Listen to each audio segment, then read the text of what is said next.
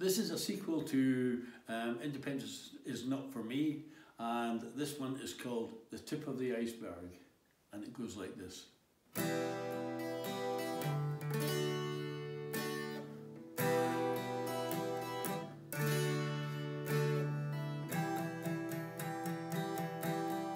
I'm the main man, I'm from the SNP 20 years of service and now a VIP I've now become famous, my name is Pete Morrell. Here's my wife Nicola, she said she wouldn't tell.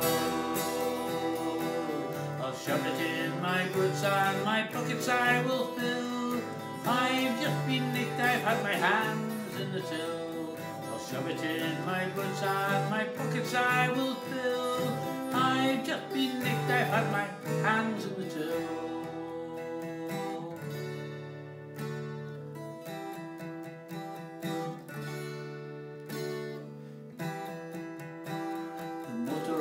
I bought, but it wasn't for me.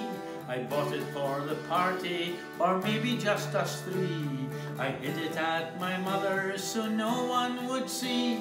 The trouble was it's big and white, and sticks out like a tree. I'll shove it in my boots and my pockets I will fill.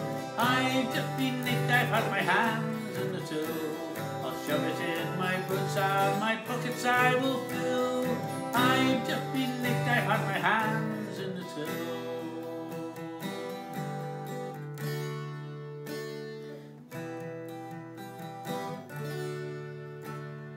Treasure hunter Beattie, calling the treasurer, got caught up in the plot. Problem with the ledger, we think there's an issue, the tip of an iceberg, the police are on the case, and justice can be served. I'll shove it in my and my pockets I will fill.